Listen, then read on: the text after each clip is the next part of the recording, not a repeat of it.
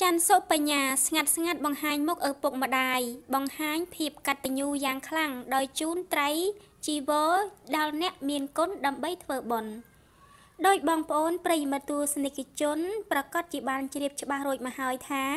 បេក្ខជនដែលកំពុងទទួលបានប្រជាប្រិយភាពខ្លាំងនៅក្នុងកម្មវិធីប្រឡងចម្រៀងថ្នាក់លំដាប់ពិភពលោក X Factor Cambodia ដែលប្អូនប្រុសមកពីខេត្តកំពង់ចាមច័ន្ទសុបញ្ញា ជាបេក្ខជនដែលមានសមត្ថភាព ដែលអាចស្រែកច្រៀងពីរោះមិនចាញ់មនុស្សធំយ៉ាងណាមិញកាលពីពេលថ្មីថ្មីនេះមានអ្នកគ្រប់គ្រងជាច្រើន មានការចាប់អារម្មណ៍និងកោតសរសើរយ៉ាងខ្លាំងទៅលើប្អូនប្រុសច័ន្ទសុបញ្ញាក្រោយរូបគេបានបង្ហោះរូបមួយសន្លឹកភ្ជាប់ជាមួយនឹងសារយ៉ាងខ្លីថា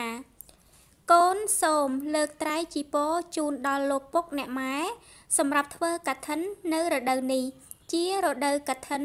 សូមឲ្យពុកម៉ែជួបតែសុខភាពល្អសេចក្តីសុខហើយនៅជាមលុបដ៏ត្រជាក់ដល់កូនទាំងអស់គ្នា